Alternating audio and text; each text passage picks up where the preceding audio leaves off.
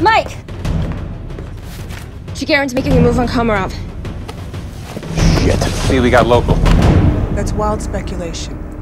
Right, give me something I can bring to the director. It's not speculation, Sue. I've been a part of this case for three years. I know who these guys are.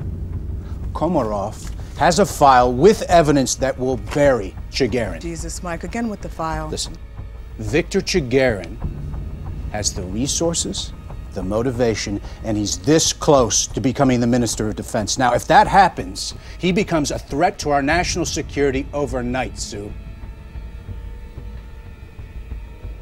Look, Chagarin has no interest, and I mean no interest in anything other than a destabilized Russia so that he can go and do whatever it is. is toast, Mike. It's a public trial. Police everywhere. It's on CNN, for Christ's sake.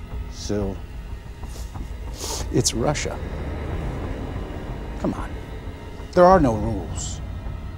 You know that. Look, there is no way, and I mean no way, that Chagarin lets this trial happen. The only thing stopping him from becoming Russia's next trigger man is Yuri Komarov. You know what? If you do nothing, Komarov is a dead man. Do you understand me?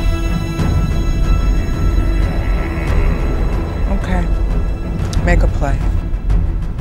That's But Mike, yeah. this is a one-shot deal. Don't screw it up.